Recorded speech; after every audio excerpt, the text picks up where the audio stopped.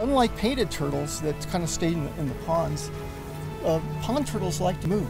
They get out there, you know, after you know, and, and they just they do their sojourn, and they can go out like a thousand feet out there. They just keep going and going.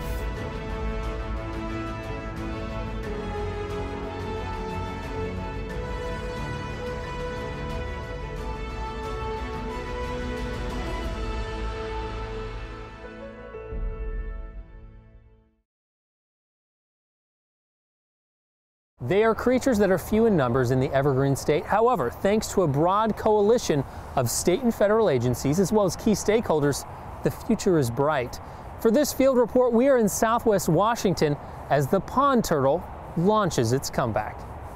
Educate other people about western pond turtles. TVW is on hand as representatives from the Washington Department of Fish and Wildlife, Friends of the Columbia Gorge, Oregon Zoo and U.S. Forest Service released 16 western pond turtles into protected habitat in the Columbia Gorge.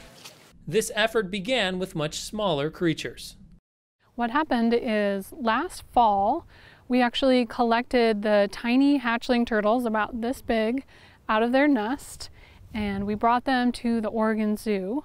And the Oregon Zoo took care of them all winter long uh, they grew nice and big, they got well fed, they could bask during the winter, and today we released them back into the wild. And the reason why we wanted them to grow a little bit bigger is that they can escape predation mainly from bullfrogs, which are not native, um, but other predators as well.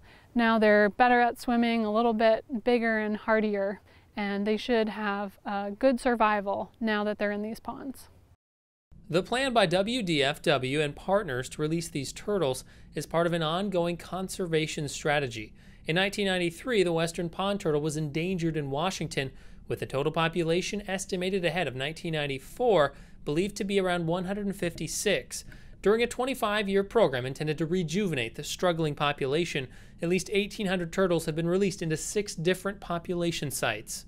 WDFW Stephanie Berg described to TVW what the pond turtles do once released into their natural habitat. When the turtles are in the water, they are moving around, constantly looking for food.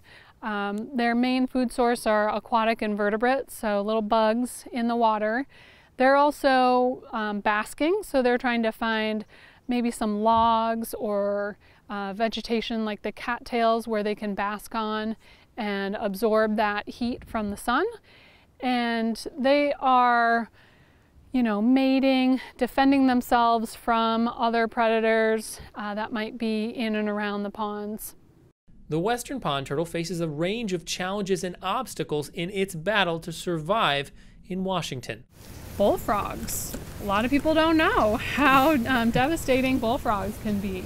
Also, other turtle species. And a lot of people get a turtle as a pet. They get a red-eared slider, Teenage Mutant Ninja Turtles, and they don't realize how long it lives. And then they think, well, I can just probably put it in my pond back here and it'll be fine. Well, unfortunately, those turtles can compete with our native species of turtles. While only a few turtles were released during the event, it's all part of a plan, an ongoing, publicly funded state conservation effort. Part of the mission of Washington Department of Fish and Wildlife is to pre preserve and protect um, species of Washington. And so this western pond turtle is one of two native freshwater turtles. The other is the western painted turtle. And um, the western pond turtle was listed as state endangered. And so it's our mission to recover the population of western pond turtles in Washington um, so that they're no longer endangered.